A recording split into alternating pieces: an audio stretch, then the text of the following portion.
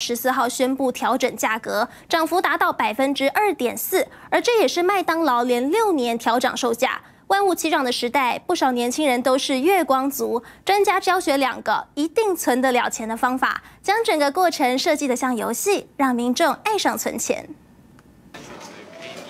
酥脆金黄的薯条搭上一口汉堡，连锁素食龙头麦当劳宣布考量营运策略，十二月二十号零点开始调价格，整体涨幅达百分之二点四，更是连续六年的涨价。其他素食业者更在观望中。薪水没有涨的话，就是存钱大概储蓄率就没有那么高，就存那么一点点的钱，或许说这个环境让他们失望吧。日常开支便当一个一百二，手摇印一杯就要八十元。年轻时代很多人都是月光族，但是再不存钱恐怕翻不了身。专家教你存钱方法：十二周存钱法，第一周存一百，每周多存一百块；第二周存两百，循序渐进，每周多存一百元，逐渐累加，整年五十二周可以存到惊人的十三万七千八百元。不过最后几周单周就要存下四五千元，越后面存钱压力越大。至少这种三百六十五天的表格，每天选一个数字，存去相应的金额，